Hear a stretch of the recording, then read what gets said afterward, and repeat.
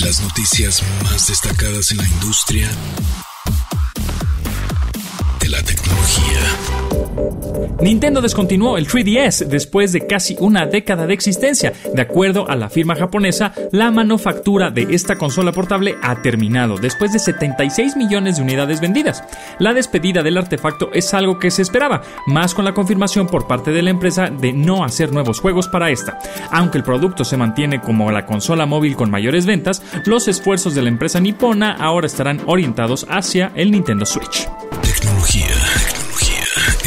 MBS. La UNESCO presentó el pasado jueves el primer borrador de recomendación sobre la ética de inteligencia artificial. Esto tras seis meses de trabajo con su grupo de expertos y una consulta pública con 600 participantes.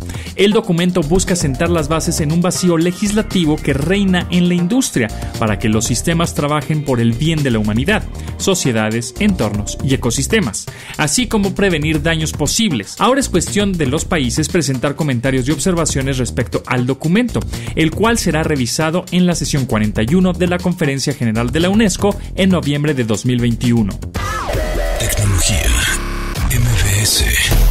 Tras la gran demanda generada por el PlayStation 5, Sony anunció que la empresa pondrá más consolas para preventa y que habrán aún más disponibles para finales de 2020. En este momento no hay consolas disponibles para precompra, aunque los aditamentos que la acompañan sí están a disposición del consumidor. Reportes preliminares sobre el famoso PlayStation 5 arrojan que tiendas como Walmart agotaron sus cantidades en cuestión de un minuto y Amazon Amazon avisó a algunos compradores que sus consolas no podrán llegar en la fecha de lanzamiento.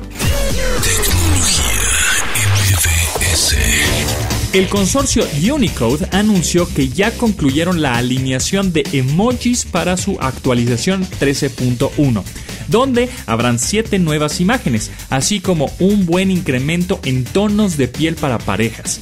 Estos incluyen una cara con ojos en espiral, una mujer con barba, un corazón con curitas, otro corazón en llamas, una cara en las nubes y otra más que exhala. Unicode señala que este es un lanzamiento menor, el cual anticipa a lo que preparan para el año 2022. Tecnología MBS.